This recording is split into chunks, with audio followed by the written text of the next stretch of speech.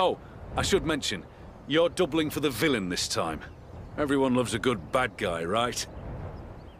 Supposedly, you're up in the mountains formulating your evil plan or something. I wouldn't worry about it.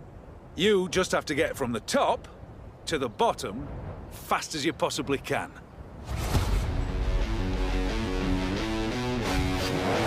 We good?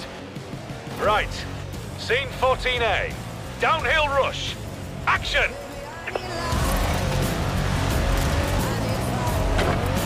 Take it off-road. Watch the cliffs. Some big air coming up. How's that for scenery?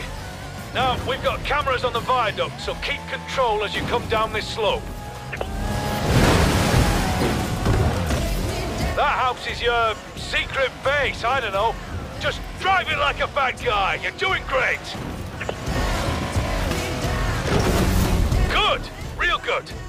Who knows how it fits into the story, but I reckon this movie's got a properly diabolical villain now. What you reckon?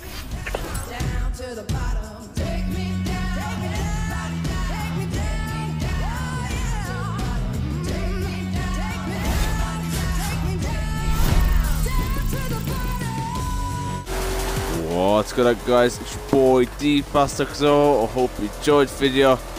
Please subscribe to this channel, on notifications, just some likes, and just have more Forza Horizon 4.